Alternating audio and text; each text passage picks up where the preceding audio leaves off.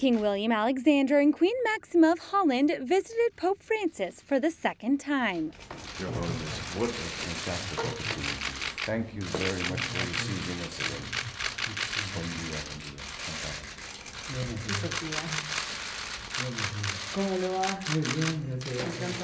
It was a very cordial and familiar visit in which they spoke in both Spanish and English because the Queen is from Argentina.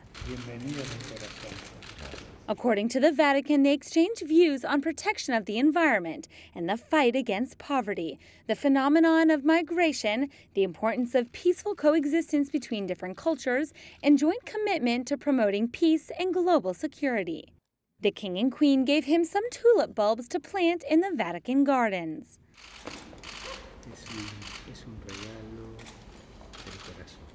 Mm-hmm. And it's really All the Dutch people that grow here. In return, the Pope gave them the three great writings of his pontificate and a medallion with the history of St. Martin de Tours. Then Pope Francis accompanied them to the door and asked them to greet their three daughters for him.